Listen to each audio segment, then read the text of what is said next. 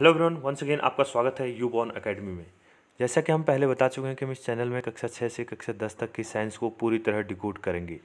Class tenth के अंतर्गत science का यह फोर्थ चैप्टर चल रहा है, जिसका नाम है carbon and its compound carbon और उसके यौगिक। आज के इस वीडियो में हम कार्बन की केमिकल प्रॉपर्टीज़ के अंतर्गत कम्बसन वाली रिएक्शन को डिस्कस करेंगे। कम्बसन को हिंदी में दहन बोला जाता है। जिसने चैनल को अभी तक सब्सक्राइब नहीं किया, वो सब्सक्राइब कर लें ताकि आपको पूरे वीडियो मिलते रहें। चलिए शुरू करते हैं। Carbon and its compound part ten combustion जिसको हिंदी में क्या बोला जाता है? दहन, जलना। Carbon in all its allotropic forms burns in oxygen to give carbon dioxide along with the release of heat and light carbon अपने सभी अपरूपों में, कार्बन के थ्री एलोट्रॉप्स थे, आपको याद आ रहा होगा, क्या बोला था हमने एक? डायमंड ग्रेफाइट और बकमिनिस्टर या फ्लोरेंस जिसको बोलते हैं। तो किसी भी कार्बन के जो एलोट्रॉप है, उसको अगर हम बर्न करते हैं बर्न किसकी प्रेजेंस में होगा? ऑक्सीजन की प्रेजेंस में।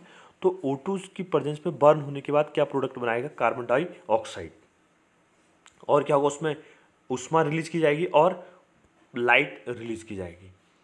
Most carbon compounds also release a large amount of heat and light on burning carbon के बहुत सारे जो यौगिक हैं, उनको भी अगर हम बर्न करते हैं, जलाते हैं तो उनमें भी क्या होती है? एनर्जी रिलीज़ की जाती है और लाइट प्रोड्यूस की जाती है, या लाइट रिलीज़ होती है।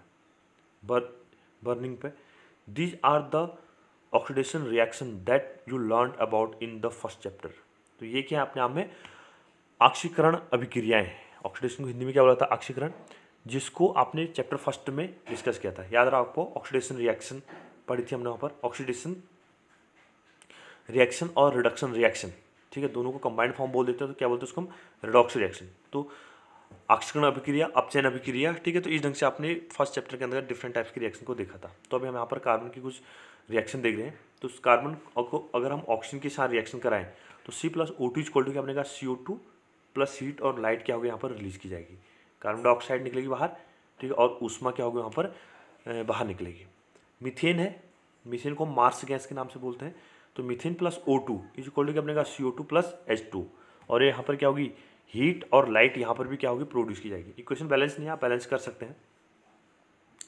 अगले हमारे पास रिएक्शन है C H three C H two O H इसको अपने आप में क्या बोला जाता है? एल्कोहल एल्कोहल में भी कौन सा एल्कोहल है? Ethanol ethanol plus O two से रिएक्शन करने के बाद क्या प्रोडक्ट बनाएँगे? कार्बन डाइऑक्साइड और water C two plus H two और जिसमें क्या होगी? हीट और लाइट फिर क्या होगी? इसमें रिलीज़ की जाएगी।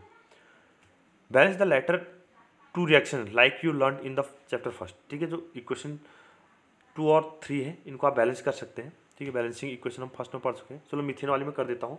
C H four plus O two is equal to C O two plus H two तो इसमें कितना होगा? चार। तो यहाँ पर हम अगर टू एच टू करते हैं, यहाँ पर टू एच टू करते हैं तो हमारे पास यहाँ पर टू ओ टू करना पड़ेगा।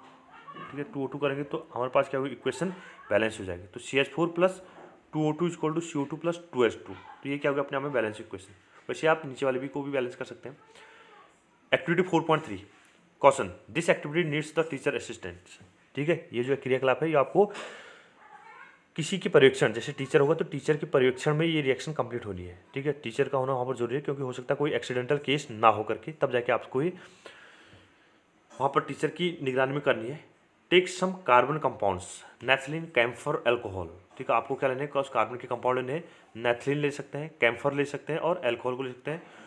One by one on a spatula and burn them ठीक है, एक एक करके आप इनको स्पेचुला में कौन कौन से? पहले क्या लिया आपने? नेथलिन ले लिया, फिर कैम्फर ले लिया, फिर एल्कोहल लिया। तो अलग अलग इनका क्या करना है?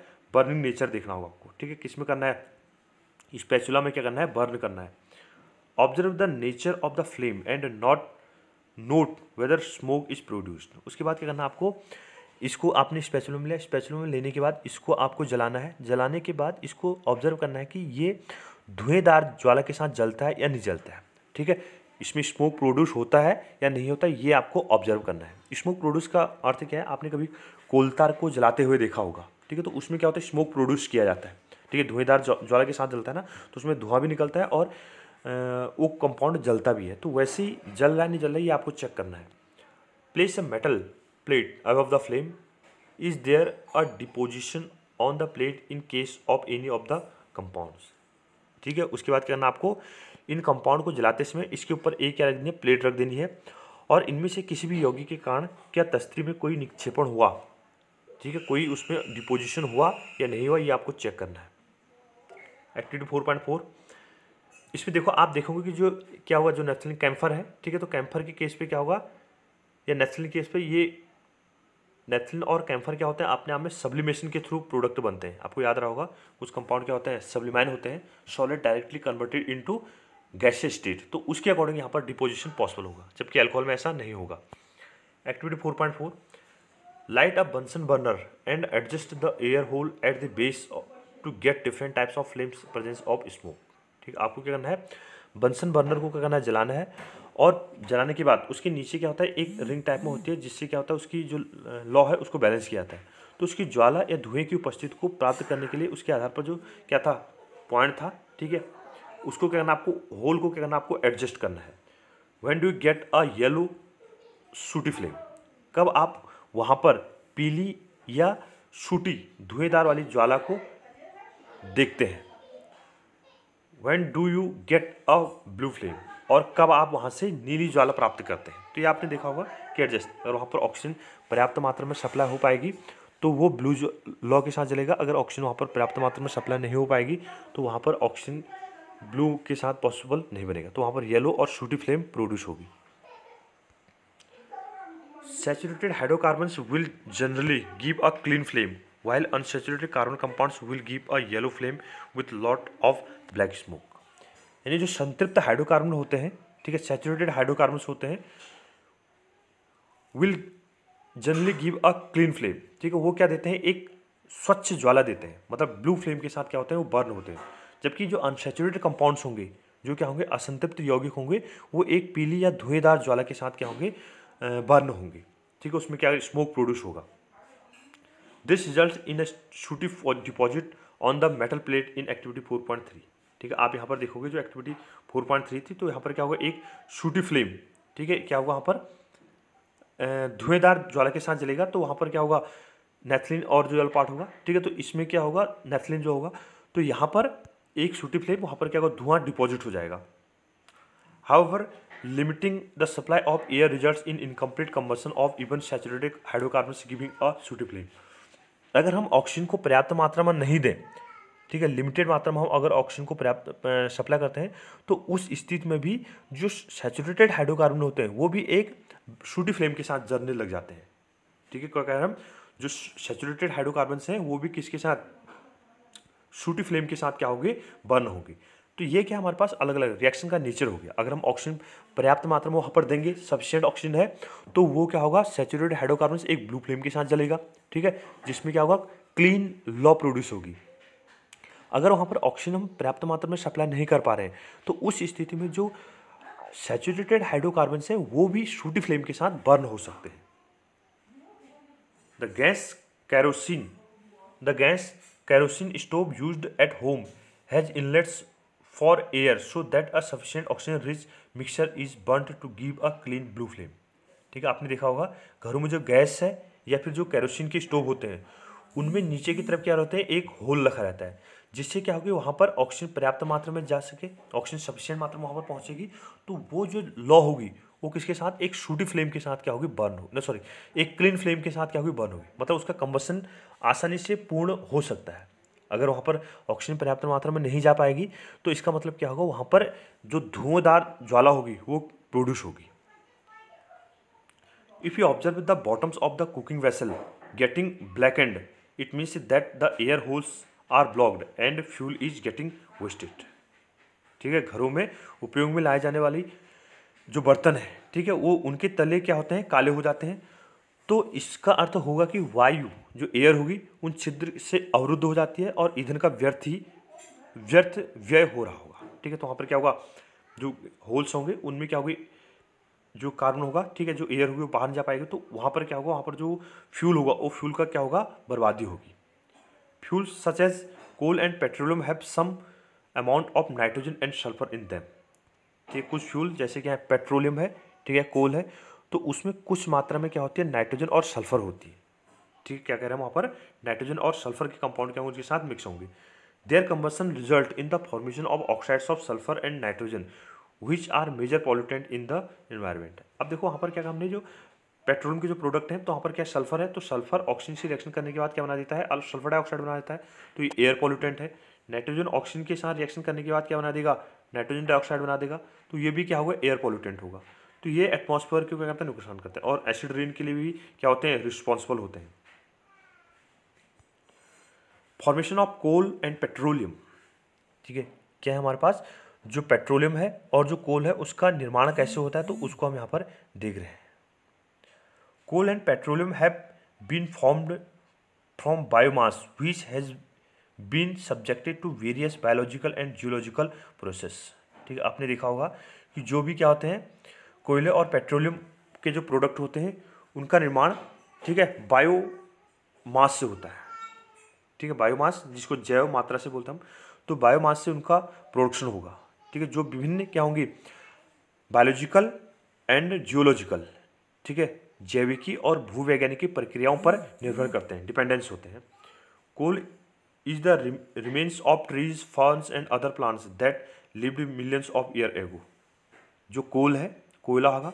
लाखों वर्ष पुराने, जैसे ट्रीज हो गया ट्रीज ब्रिक्स हो गए फंस हो गया और जो अन्य पेड़ पौधे हैं, ठीक है, उनके अवशेषों से क्या होते हैं? प्राप्त होते हैं। ये लिविंग थिंग्स थी। कभी जैसे पेड़ हो गया फर्न है या अदर कोई प्लांट है तो ये लिविंग थिंग्स है। तो लिविंग थिंग्स से हज़ारों साल नीचे दबने के बाद क्या होता है? पेट्रोलियम का निर्माण होता है। कोल का निर्माण होता है। These were crushed into earth into the earth perhaps by earthquakes और वेलकोनिक वेलकोनिक इरप्शंस ठीक है, इनका जो निर्माण होता है, संभवतः भूकंप या ज्वालामुखी फटने के कारण ये धरती में जो चट्टान है, उनके परतों के भी नीचे क्या हो जाते हैं, दब जाते हैं। These were crushed they were passed pressed down by layers of earth and rock they slowly decayed into coal ठीक है, जो पृथ्वी है या जो धरती है, उसके द्वारा क्या होगा इनको धीरे धीरे वहाँ पर अनेक जो उनकी लेयर्स होंगी, उन लेयर्स में दब जाएँगी और धीरे धीरे क्या होंगे, ये कोयले के निर्माण का कार्य करती हैं। They were passed into pressed down by layers of earth ठीक है, पृथ्वी की अलग अलग जो परतें होती हैं, उनके द्वारा इनको प्रेस किया जाता है। ठीक है, और धीरे धीरे क्या होगा, इनको डिके होने के बाद किसमें बदल जाएँगे, कोयले में बदल जाएँगे।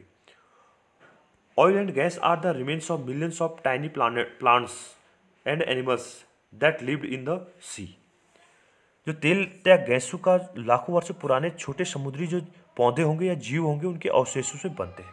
ठीक है तेल और क्या कह रहे हैं हम जो आ, पेट्रोल है ठीक है तेल और जो पेट्रोल के प्रोडक्ट हैं वो भी क्या होंगे? लाखों मिलियंस ऑफ़ टाइनी प्लांट्स ठीक है क्या होंगे? एनिमल्स समुद्र के नीचे दबे होंगे तो उनसे इनको प्राप्त किया जाएगा। When they died their bodies sank to the sea bed and were converted by silt ठीक है इनकी जो मृत अवशेष होंगे, वो धीरे धीरे क्या होंगे? बैक्टीरिया उन पर अटैक करेगा, ठीक है, उसके बाद क्या होगा? प्रेशर बढ़ेगा तो ये क्या होंगे? ऑयल और तेल क्या कर, का फॉर्मेशन करते हैं। Bacteria attacked and dead remains turning into into oil and gas under the high pressure they were being subjected to ठीक है? क्या होगा? बैक्टीरिया और जो क्या होंगे? डेड मटेरियल्स होंगे। बैक्टीरिया के द्वारा इन पर अटैक किया जाएगा और धीरे धीरे ये डेड मटेरियल के बाद गैसेज प्रोडक्ट में और क्योंकि दाब बढ़ेगा, नीचे होगा तो हाई प्रेशर बढ़ेगा, पृथ्वी के नीचे है तो ज़मीन में प्रेशर बढ़ेगा तो उसकी बेस पे ये किसमें बदल जाएँगे? ऑयल में और जो गैसें हैं, उन प्रोडक्ट में फॉर्म किए जा सकते हैं। Meanwhile the silt was slowly compressed into rocks ठीक जो सिल्ट होते हैं, उस सिल्ट क्या होंगे? धीरे धीरे चट्टान बन जाते हैं। ठीक है, जो बीच में जो गाद होगा सिल्ट होगा धीरे धीरे दबकर चट्टान बन गया। ठीक है तो चट्टानों से इस ढंग से ऑयल उनके नीचे ऑयल और जो गैसेज प्रोडक्ट होंगे, बने हुए रहेंगे या दबे हुए रहेंगे। The oil and gas sipped into the porous part of the rock and got trapped like water in a sponge. Can you guess why coal and petroleum are called fossil fuels? क्या कहा हमने जो चट्टान के बीच में क्या होते हैं पोर होते हैं धीरे छिद्र होते हैं उन भागों में तेल या गैस का रिसाव हुआ और ये पानी में स्पंज की तरह फंस जाते हैं क्या आपने कभी अनुमान लगा सकते हैं कोयला और पेट्रोलियम जीवाश कोई जीवाश्म ईंधन क्यों कहते हैं क्योंकि फॉसिल फ्यूल है, क्योंकि जो पेड़, पौधे या अन्य जो जीव जंतु हैं, उनको धीरे धीरे उनकी धीरे धीरे उनका क्या होगा बैक्टीरिया के द्वारा या अन्य किसी जो जम्स होंगे, उनके द्वारा इनका डिकम्पोज किया जाएगा और इनकी बॉडी में जो फ्यूल होगा, ठीक है? उसको पानी के अंदर, जैसे हमने बोला कि स्पंजी लाइक जो कंपोनेंट्स हैं, ठीक है? उनमें क्या हो जाते हैं स्पंज लाइक वाटर में क्या होता है स्पंज लाइक में ट्रैप्ड किए जाते हैं और उससे पेट्रोलियम प्रोडक्ट को फॉर्म किया जाता है। थैंक यू वीडियो को लाइक कीजिए शेयर कीजिए और सब्सक्राइब कीजिए।